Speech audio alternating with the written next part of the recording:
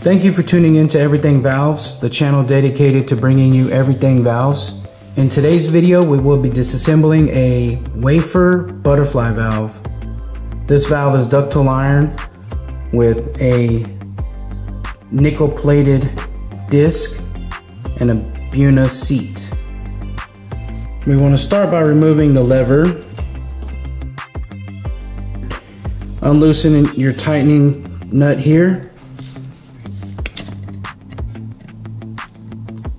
Here's your lever. Next we want to remove the locking plate which has different positions to lock it. You want to remove these two bolts here.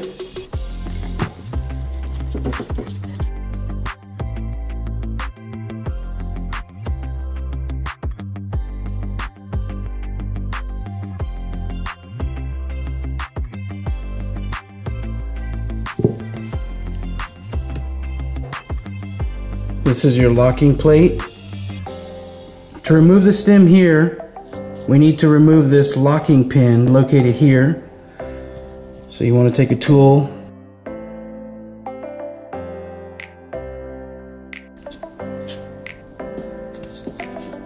This is your locking pin here. So here you have your stem. To remove the stem, you want to take some pliers and pry it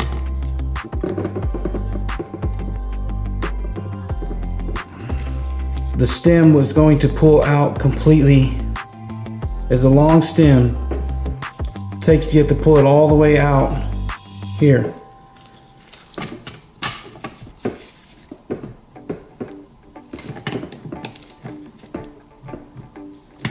Here you can see the groove. As you can see here, this is your grease fitting here. It would inject grease in and it would come out.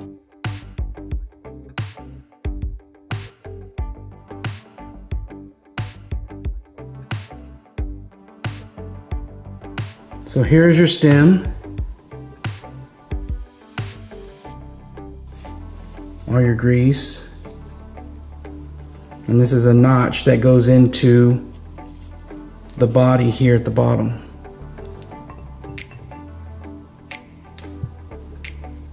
So now we want to remove our disc. So we should be able to open the disc and simply pull out. And here you have your disc.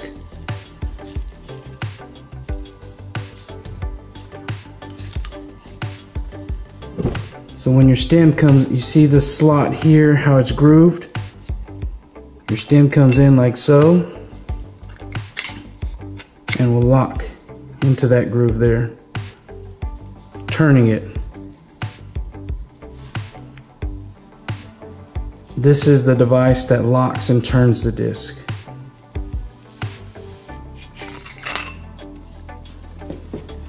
And the, the seat is not removable. There's a special process that helps it adhere to the metal.